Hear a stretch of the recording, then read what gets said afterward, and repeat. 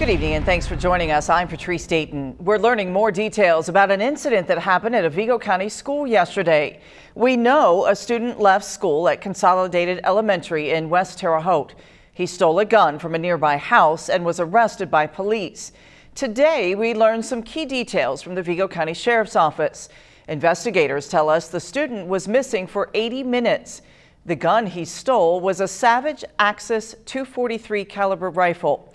The sheriff's office says officers did not see the student fire the weapon, nor did they see him point it toward the school. Officials say the student did, however, point that gun at police. He's being charged with pointing a gun at officers and theft. It is a story that has many people talking about school safety. News 10's Blake Dahlia is live in the newsroom. He explains some of the community's concerns. Patrice, some people in West Terre Haute say they're concerned after an 11-year-old fired a rifle in a woods next to Consol Sugar Creek Consolidated Elementary School. Now, I talked with one West Terre Haute woman who says this situation should have never happened.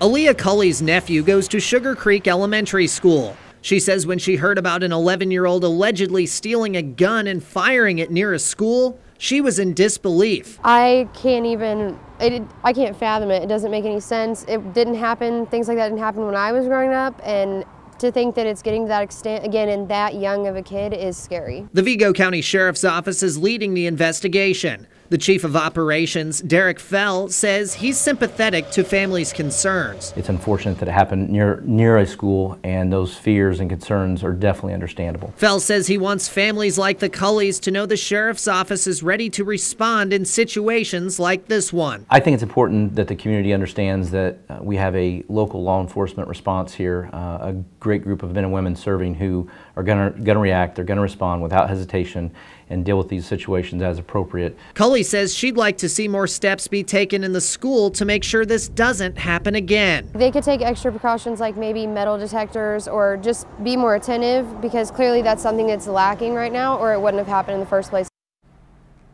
We took these concerns to the Vigo County School Corporation. News 10 has reached out for interviews with the Vigo County School Administration. As of right now, officials have not agreed to an interview. The school corporation has not answered many of our specific safety related questions. A spokesperson today referred us to the sheriff's office investigation. She said that additional law enforcement officers and counselors were on hand today. Now, we'll continue to update you as this story develops, but for now, reporting live in the newsroom, Blake Dahlia, News 10.